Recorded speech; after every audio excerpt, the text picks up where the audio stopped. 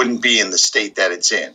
The fact that these things, I mean, look at this. They are saturating the United States, especially my side of the country. And I think we found the reason for it, and it's pretty straightforward. This is a patent right here for nervous system manipulation by electromagnetic fields from monitors. Now, what does that mean? It means just what it sounds like. Here's a few diagrams from the patent. Do you see this? Does it make any sense now why they need everyone to have the highest resolution possible flat screen in their home? Why is it that that's all a rage? Why is it that they have gone through great pains in keeping people sitting in front of their televisions, laptops, computers, and cell phones? Because every single solitary one of those devices, first of all, is a scrying mirror. Now, what is a scrying mirror? If you follow my channel, you probably have a really good idea. It's quite similar and along the lines of a crystal ball, except it's a black mirror that's used to conjure otherworldly entities, things from other dimensions, things that you're not supposed to communicate with. And yet, that's exactly what we're doing every single time we turn on one of our devices. Does it look familiar? Dream time. Does it look familiar? Do you see any resemblance? Because it's exactly what they are. And now, this patent, patent number 650614-8B2. Actually, it's J2 650614-8B2.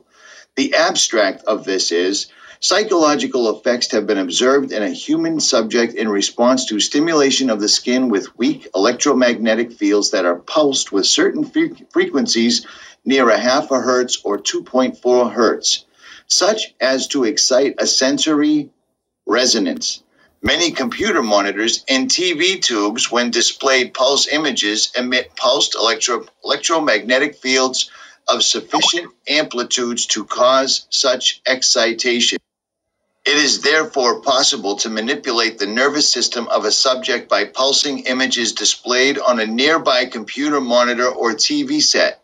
For the latter, the image may the image pulsing may be embedded in the program material or it may be overlaid by modulating a video stream, either as an RF signal or as a video signal.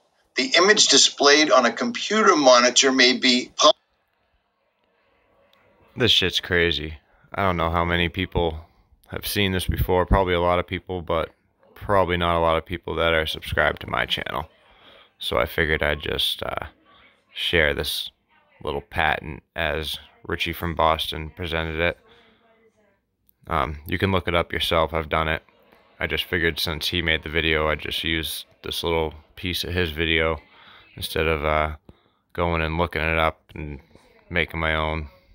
Most Effectively by a simple computer program for certain monitors, pulsed electromagnetic fields capable of exciting sensory resonance in nearby Nearby subjects may be generated even as the displayed images are pulsed with subliminal intensity.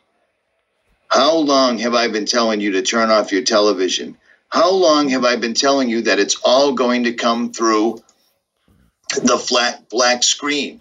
There's a reason every single solitary screen looks exactly like a scrying mirror that goes all the way back to Queen Elizabeth, John Dee. This goes back. This. All right, that's you get the idea. I just wanted to share that little bit of factual information. At least, definitely factual as far as the patent goes and the technology.